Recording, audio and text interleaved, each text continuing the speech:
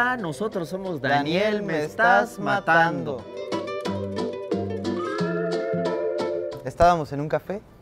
eh, en esa época nosotros nos dedicábamos a hacer música para publicidad y nada, nos juntamos, empezamos, él me trajo canciones, me dijo ayúdame a producir estas canciones porque yo quiero cantar y tocar la batería y eran boleros, entonces eh, él tenía una idea de que fuera más tradicional y yo estaba escuchando más trap y cosas más modernas. Y cuando empezamos a producirlo y empezamos a escuchar como la mezcla, dijimos, ah, pues vamos a inventar nuestro propio género.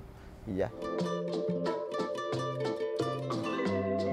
Yo en esta banda no soy nada que realmente no sea en la vida real. Solo es una caricaturización o una exageración de lo que... O sea, si tú me ves en unas fiestas, este, probablemente no esté bailando así de exagerado, pero Ah, me sí, vas a ver sí bailando y haciendo esas Sí has bailado así de exagerado en las tiendas, yo te he visto mil veces. Las cosas que decimos en el escenario probablemente son un, son un resumen del- de la cantidad infinita de estupideces que decimos en la vida diaria. La manera de vestirnos ha ido evolucionando conforme nos queremos nosotros más como personas. Antes nos, que nos vestíamos mal. Hemos ido ganando dinero y ahora ya nos vestimos Esto es, increíble. es carísimo, esto está sucio, pero es caro. Las claves de la creatividad, no, no estoy muy seguro cuáles sean, o sea, si hay algún tipo de clave o algo. Lo que creo que es importante eh, para nosotros a la hora de hacer música es seguir persiguiendo la experimentación y que, y y que nunca estemos, no conformarnos ¿no? con lo que, lo que podemos hacer. Es como de qué más podemos hacer y, y cómo más podemos buscar otro tipo de sonido que nos llame la atención. Y, ah, esto suena más nuevo que lo que hicimos la vez pasada. Y así como que hay un feedback de eso, ¿no? Ajá, y como al, al nosotros hacer música romántica, como que ir, como dice Iván, conociendo nuevas formas de proyectar la música romántica. Las influencias también, todo el tiempo, ahora con, con estas plataformas digitales de música, pues todo el tiempo te da la oportunidad de conocer proyectos que no conocías, pero al- igual son viejos o algunos nuevos que van surgiendo y eso también ayuda mucho a, a que se te ocurran hacer más cosas. No, no hay un límite. Uno hace canciones cursis y la verdad es que si de repente suenan demasiado cursis, las dejamos ser. Hay unas que, que se caracterizan por ser muy cursis y hay otras que naturalmente son más dramáticas, otras que naturalmente nos ponen a, a querer hacer ruido. Entonces, a mí personalmente me gusta que sónicamente tenga una pro- propuestita bonita y que las melodías me hagan sentir bonito. Va más como de dejar, dejar a la música ser lo que es, ¿no? Si salió cursi, pues no tener miedo de, que, de lo que vaya a pensar la gente, de que si es muy cursi o si no, pues habrá quien le guste y habrá quien no le guste y todo bien. Dime cómo le explico a mi destino que ya no Eh, estás. es un poco lo que comentaba Iván, esta cosa de la experimentación.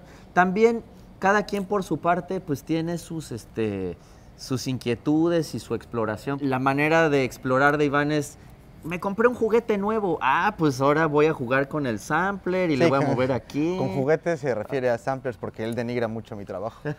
Pero muchas veces suplir cosas, no sé, mm, somos una banda independiente y no tenemos como presupuestos grandes, ni tenemos una disquera, ni tenemos nada de eso. Entonces, si se nos antoja tener una sección de metales o de trompetas o de cuerdas o lo que sea, tenemos que solucionarlo de otra forma, como que sea bastante más barata y eso pues también nos ayuda a, a llegar a otros lugares y, que el sonido sea diferente, ¿no? Y, por el otro lado, la influencia es la música vieja y los viniles de nuestros abuelos y así.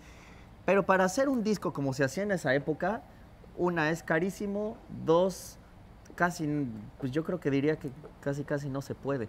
Entonces, automáticamente tiene una refrescada desde que la mezclas en esta época, teniendo otras referencias. Claro. ¿Cómo le explico a mi destino que ya no estás ahí? Mira, del escenario él está más al pendiente.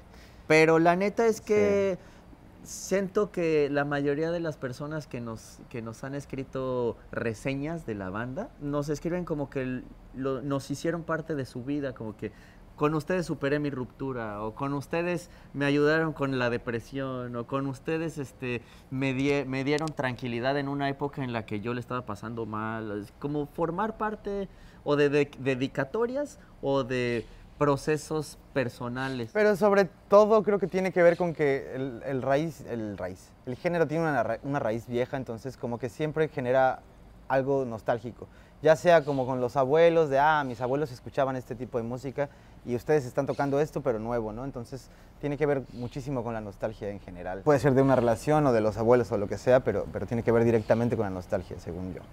Cómo haré para desprenderme de este Sí, tiene, tiene algo de fársico. eh, el perso- los personajes son algo fársicos. Hay gente para la que es más chistoso, hay gente para la que es un poco más serio, que es la gente más cursi, ¿no? Y la que es más seria, pues se lo toma más a broma. Pero con que vengan a los conciertos me da igual.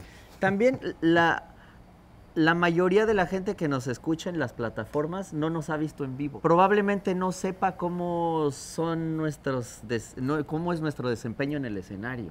Y depende mucho el, el- el lugar donde toquemos, no sé, la gente reacciona diferente según el país, según la ciudad. O sea, en- en- nosotros somos mexicanos, entonces donde más hemos tocado es en varias ciudades de México. Y, y la reacción siempre es distinta según la zona, ¿no? desprenderme de este frenesí. Sí, eso, eso es una cosa como de dar el ancho. En el sentido de como de que, es, bueno, si la banda crece, pues tenemos que hacer mejores shows. eh, porque el público está pagando una cosa que se merece que ver algo chido, una experiencia chida. Y, y sobre todo representar un poco lo que hacemos musicalmente, ¿no? Para nosotros es, es diferente la música porque la hacemos nosotros, entonces para nosotros representa una cosa ya visual en la cabeza que nos gusta llevarla a, ese plano visual y para la gente representa otras cosas, entonces como que ahí empieza a haber como una conversación entre nosotros y la gente para poder llegar como a algo visual más aterrizado que represente el género y, la banda, ¿no? Y, y también muchas veces yo me pongo en el lugar del, del público. Hay canciones que yo voy a ver de mis bandas favoritas que luego ni me gustan. Bueno, pues por lo menos que el visual esté entretenido. Esta locura que siento por ti. Con esta Bueno, los dos tenemos un pasado eh, en la música de que o tocando con distintos proyectos, o tocando distintos géneros, o tocando él en la playa y yo en bares y cosas así. La neta es que por yo, yo he estado en contacto con estudios de grabación desde muy niño. Entonces, pues siempre he estado ahí picando botones, aunque no sé casi nada, pero los pico. Y, y entonces empezamos a producir juntos y ahí fue donde nos empezamos a enterar que trabajábamos bien juntos, trabajábamos rápido.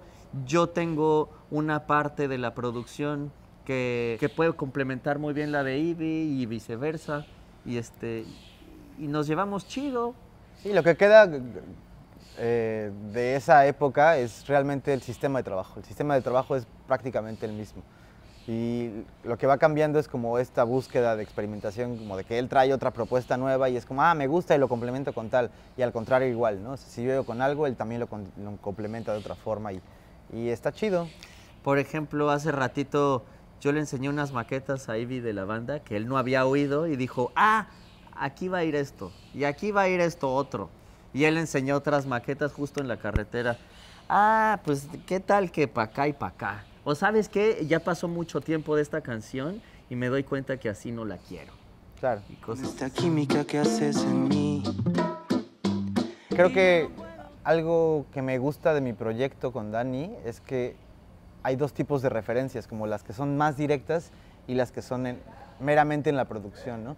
Las más directas son, no sé, todos los cancionistas dramáticos, ¿no? Así, todos los boleristas, Álvaro Carrillo, eh, Agustín Lara, los Panchos, los Tres Haces, los Ángeles Negros, o sea, como que esos son los más directos y atrás están los más modernos, ¿no? A mí me gusta mucho James Blake, me gusta mucho Frank Ocean, me gusta, me gusta Drake, me gusta el trap.